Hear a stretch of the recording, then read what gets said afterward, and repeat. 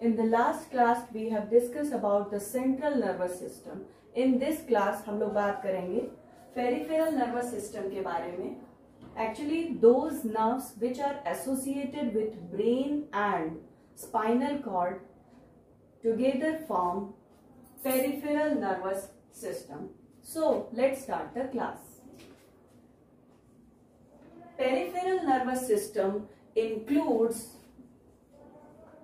those nerves which are associated with brain and spinal cord. Those nerves which are associated with brain and spinal cord are called as peripheral nervous system. There are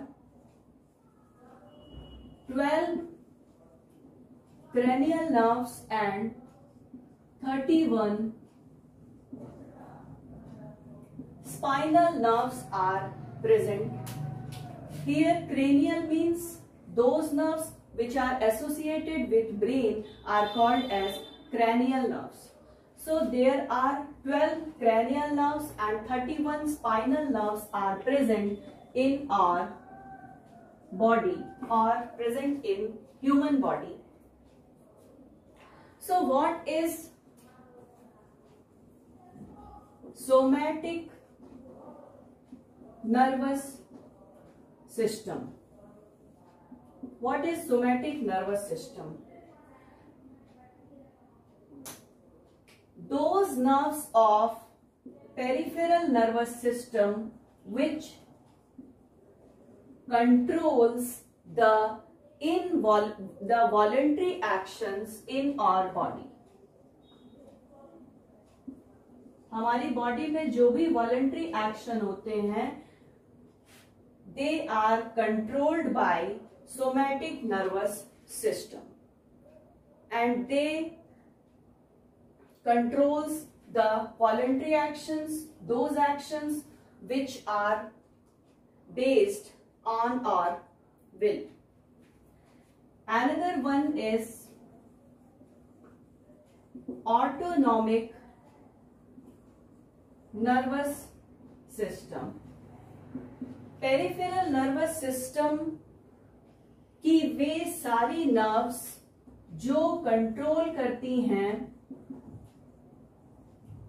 in voluntary actions को in our body together form autonomic nervous system.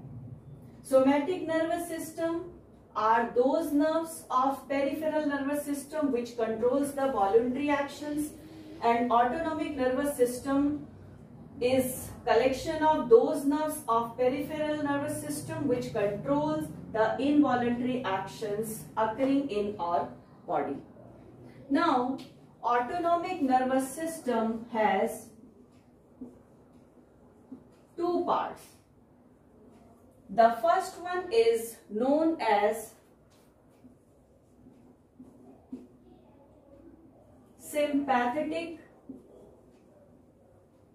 nervous system and the second one is parasympathetic nervous system. Autonomic nervous system is having two parts, sympathetic nervous system and parasympathetic nervous system.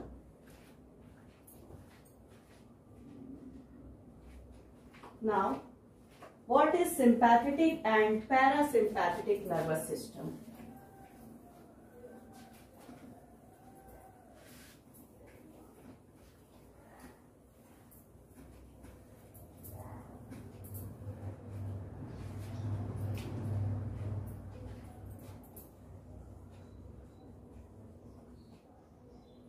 Sympathetic nervous system. Sympathetic nervous system prepares the it prepares the body for intense physical activity. Intense physical activity के लिए body को क्या करता है prepare करता है prepare for the intense physical activity. These are called as sympathetic nervous system. These are also called as fight or flight responses. Sympathetic nervous system is also known as fight or flight responses. Now next is parasympathetic nervous system Parasympathetic nervous system का काम है body को relax करना। It relaxes और body और जितने भी high energy functions होते हैं हमारे बॉडी में, उसको ये क्या करता है? स्लो डाउन कर देता है। It also slow down the process having high energy functions ऐसे फ़ंक्शंस को जिसमें हाई एनर्जी की ज़रूरत होती है, उन सारे प्रोसेस को ये क्या कर देता है? स्लो डाउन कर देता है, जिसकी वजह से बॉडी क्या हो जाती है? रिलैक्स हो जाती है। तो it is parasympathetic nervous system actually parasympathetic nervous system is just opposite of the sympathetic nervous system. So that's all about per peripheral nervous system. Now, reflex action.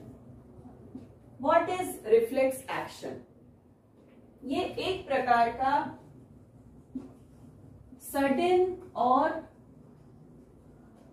Involuntary action होता है of the body in response to stimuli किसी भी stimuli के response में body में जो sudden और involuntary responses आते हैं it is known as reflex action so it is a sudden and involuntary action or reaction of the body in response to stimuli now what is reflex arc reflex arc it is the path जो भी electrical impulse है उसने जितना path travel किया body में वो सब मिलाकर के क्या बनता है? रिफ्लेक्स आर्क बनता है। Actually it is the path followed by electrical impulse during reflex action जब रिफ्लेक्स एक्शन हो रहा है, उस समय इलेक्ट्रिकल इम्पल्स के द्वारा ट्रेवल किया गया पूरा जो पाथ है it is known as reflex arc अब ये जो इलेक्ट्रिकल इम्पल्स है, ये पाथ ट्रेवल कर रहा है। कहने का मतलब है कि रिसेप्टर पर रिसेप्टर या ऑर्गन पर इम्पल्स आया, उसका इफ़ेक्ट आया और फिर वो कहाँ पर पहुँच गया? ब्रेन और स्पाइनल कॉर्ड तो इस पूरे पाथ को कहते हैं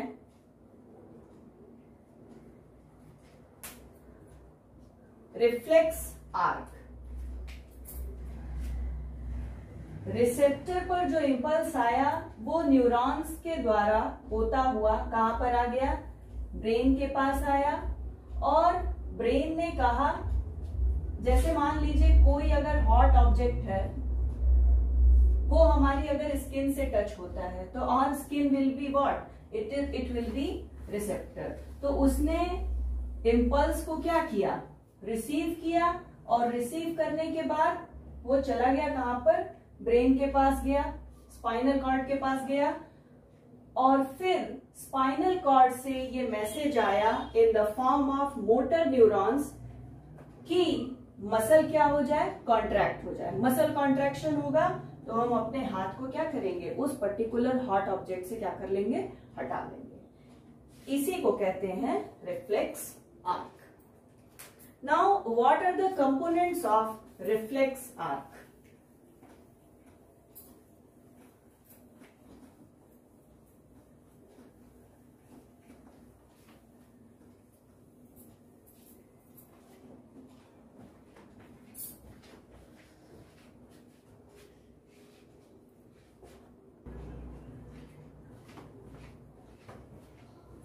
Now, what are the different components of reflex arc? reflex arc के कौन कौन से कंपोनेंट है? चलिए देखते हैं। The first one is receptor organ जिसने रिसीव किया। उसके बाद सेंसरी या afferent neuron.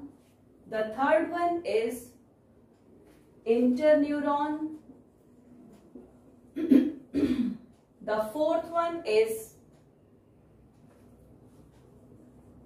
motor or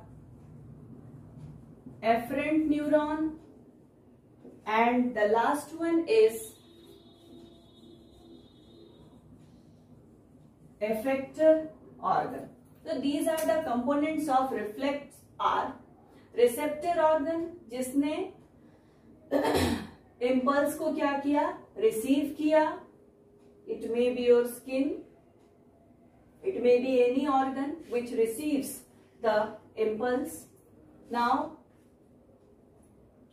these these are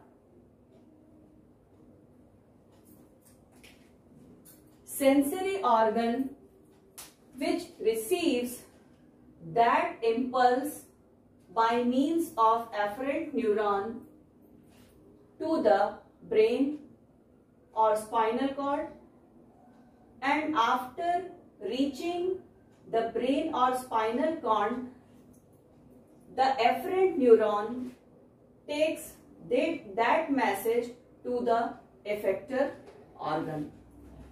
So these are the components of reflex arc. I am making a flow chart. Suppose there is an impulse अगर object कैसा है hot है तो direction of impulse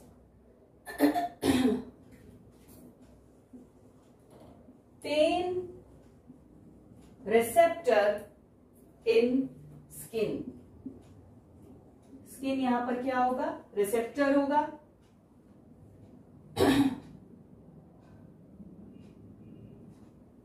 efferent neuron के afferent neuron से message जाएगा brain को।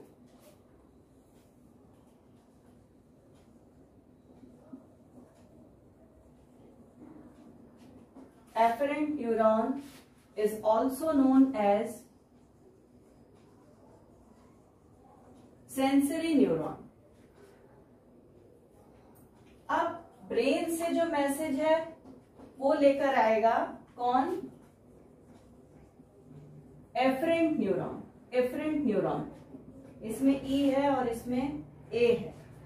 ये एफरेंट है, वो एफरेंट है। Efferent neuron efferent neuron is also known as motor neuron and finally